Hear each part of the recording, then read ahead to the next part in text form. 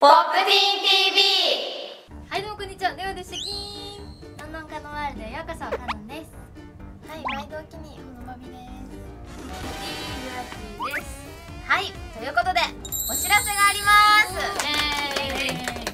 10月の26日土曜日に、えー、ララポート東京ベイの北館中央広場にてポップティーンのイベントが開催されます。イエーイ毎年10月頃に行われてるんですけど、はい、あのなんか毎年こうドレスコードがありまして、はい、今回はこうキャラっぽい仮装ということで今自分たちもキャラっぽい仮装をしてるんですけど、はい、ユアティは何の仮装してるんですか？マイリトルポニーになってます、はい、ユニコーン。虹色の髪の毛をつけてみました。あとはもう角をかぶり物で生やして、ザ・ユニコーンですはいいいですね可愛いですバビちゃんはいそして私はバビになりましたバビねまつげがすごいもう上も下もついてるしカラコンも結構濃い感じでリップもちゃんと真っピンクにしてお人形さんっぽくしましたイエイイエイはい、えー、と私は、えー、パーパフガールズのバブルスになりました可愛いです。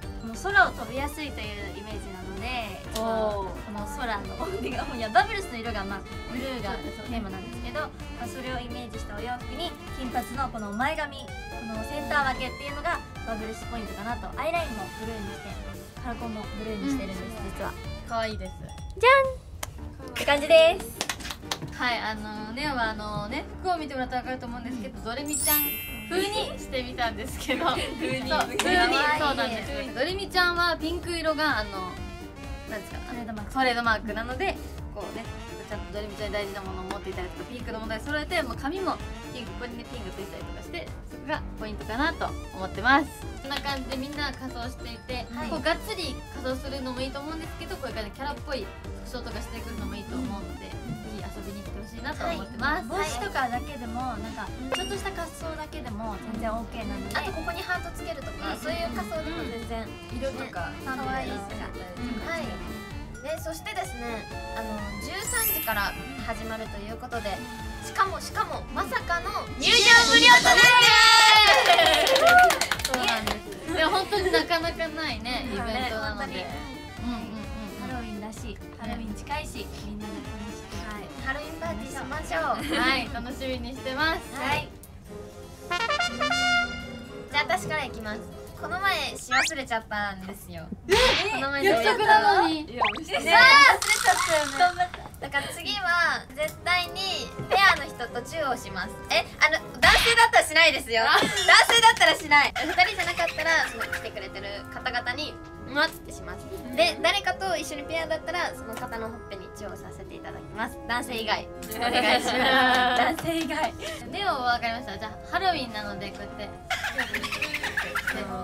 をかけたいと思います。はい。じゃあ私ハートに見せかけてのかぼちゃになりたいです。あかわいい。歩いてる途中かあのセンターのかぼちゃだぞってかわいい。最高かわいい。かわいい。かわいい。あのそれをやろうと思いますね、かぼちゃに。あじゃあいないいないばあー。かわいいちらっとちらっと。覗きますいないいないばとか喧嘩をするってことでいいですか時と前によって逃げに入りましたぜひ遊びに来てくださいはいそしてあの13時からで入場料はないので本当に無料なのでぜひ皆さん気軽に暇な方は遊びに来てください、はい、お願いします。待ってますじゃあ最後予行練習なんで。あまた来た。え私。やばいやばいやばい。バビちゃん